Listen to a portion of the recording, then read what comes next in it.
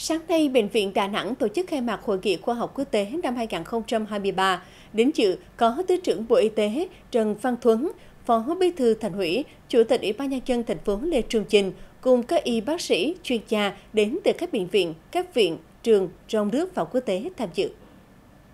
Hội nghị khoa học năm nay với một phiên toàn thể, 27 phiên chuyên đề và 6 phiên tập huấn tiền hội nghị với 165 bài báo cáo của 132 báo cáo viên trong nước và 22 báo cáo viên nước ngoài là những chuyên gia đầu ngành đến từ Mỹ, Nhật Bản, Singapore trên tất cả các lĩnh vực y tế. Đây là diễn đàn để các y bác sĩ trao đổi thông tin, chia sẻ kinh nghiệm, cập nhật và ứng dụng các kỹ thuật mới, công trình nghiên cứu khoa học phục vụ công tác chẩn đoán và điều trị.